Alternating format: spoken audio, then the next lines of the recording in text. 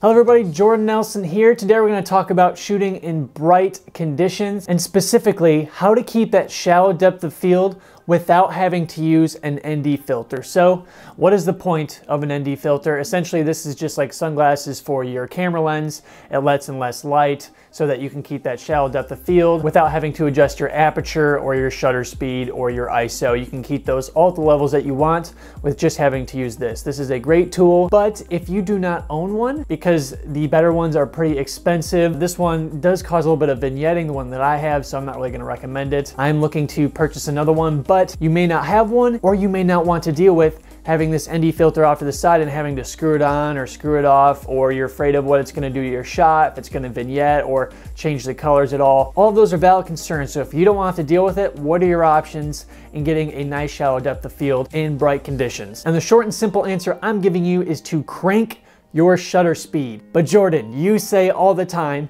that your shutter speed should be two times your frame rate. So if you're shooting at 24 frames per second, you should be shooting at a 150th shutter speed. 24 times 2 is 48, but that's the best rounding you're gonna get with your shutter speed. It would be 50. If you're shooting at 60 frames per second, you want 1 125th of a second shutter speed. If you are shooting at 120 frames per second, you would want 1 250th of a second shutter speed. You want to continue to do that every single time but if you are in very bright conditions and you really do care about your aperture being as low as it can be, so you can have the shallowest depth of field and have that look that you want, that's why these exist, so that you can keep your shallow depth of field without having to crank that up. So what you can do is crank your shutter speed, but this tactic is limited.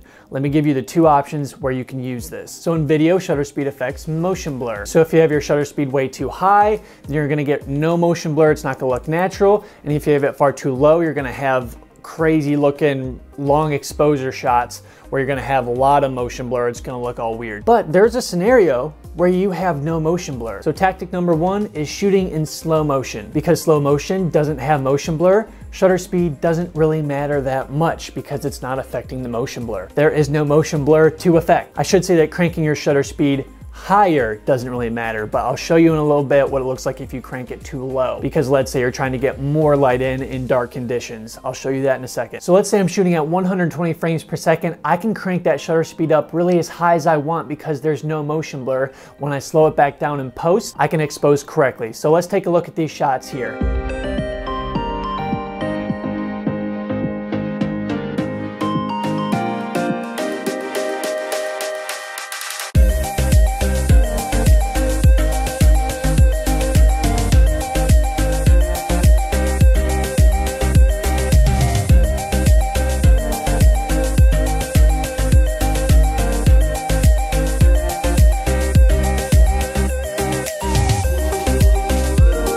So if it's a sunny, bright day outside and you're wanting to expose your shot correctly, make sure nothing's too blown out, that your subject looks natural, then you can shoot in slow motion and crank the shutter speed so that you can maintain that shallow depth of field. But if you are in dark conditions, you cannot crank the shutter speed lower than ever, ever, ever, ever what your frame rate is. Doesn't matter if you're doing slow motion, doesn't matter if you're doing real time 24p. You should not, unless you're doing some crazy stylized look in some filmmaking thing, you should never, if you're just capturing something like a wedding, you should never make your shutter speed lower than your frame rate. Now, tactic number two, like we said, shutter speed affects motion blur. If there is no to minimal motion in your shot, then you may be able to get a pass on cranking your shutter speed because it's not going to be much of a noticeable difference. Now this one is a bit riskier and takes some judgment on the front end because maybe you don't know exactly what's going to be in your shot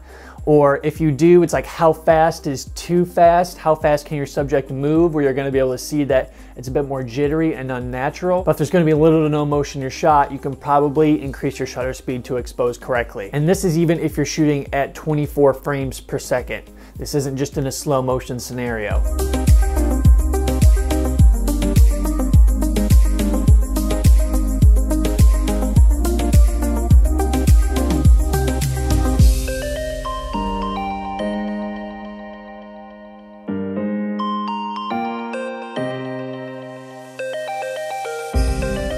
One thing to note though is that I've seen many wedding films where I've noticed that either the frame rate was higher, therefore the shutter speed was higher, or they just cranked their shutter speed in order to make sure they could expose properly, and they still played it back in real time, and I could tell there was some jitteriness to it, but what was more important to them was making sure that they got the shot and it was exposed correctly, and that maybe some of that weird motion blur stuff wasn't nearly as important to them. Some people are just totally fine with that look. If you're cool with that not as natural, less cinematic, film-like look, then great, that's fine. You do what you need to do to make sure that you're not blowing out your subjects in the highlights or whatever. Because I think a lot of people care so much about that shallow depth of field and making sure the exposure is correct rather than the motion blur, especially if they're just a little bit cranking that shutter speed, maybe not to 1 5,000th like I was doing before, but just like one 160th of a second. It's probably not gonna make that much of a noticeable difference, but we were shooting in direct, really bright sunlight, so I really had to crank that thing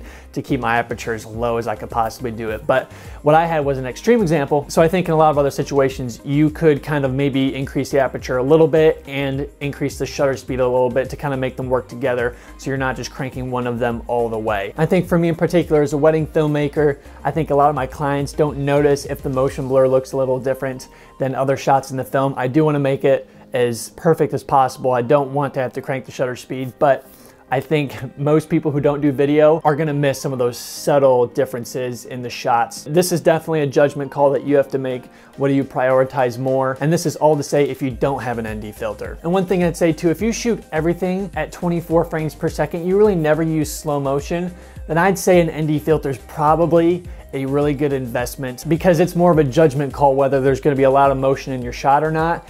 And if you are not satisfied with that jittery kind of look, you wanna make sure everything has the perfect motion blur, an ND filter is gonna be indispensable to you. So these tips are just if you do not have one or do not want to deal with one or you don't care as much about these kind of cheats that you can use. So that's it for me. I hope that was helpful. Thanks so much for watching, everybody. If you like this video, go ahead and click that subscribe button. I do have a lot more videos like this on this channel, a lot relating to wedding filmmaking, as well as just video creation in general, as well as the business of it. Yeah, so consider subscribing if you have not already. Hopefully a lot of this information on this channel would be of some use to you. Thank you so much for watching, everybody. We'll see you all in the next video.